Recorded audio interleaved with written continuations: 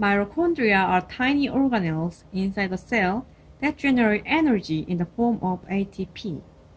This is why mitochondria are called the powerhouse of the cell. There are four major regions in the mitochondrion.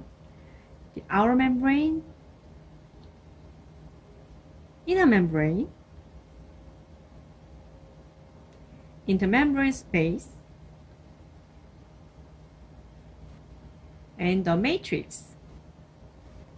The outer membrane contains proteins called porins, which allow ions and small molecules to pass.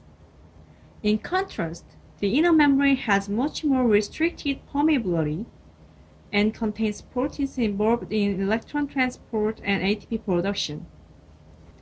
The folded parts of the inner membrane is called cristae, which expand the surface area of the inner membrane.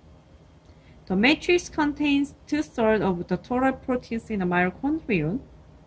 The matrix also contains several copies of mitochondrial DNA. We will discuss the function of mitochondria in the next video.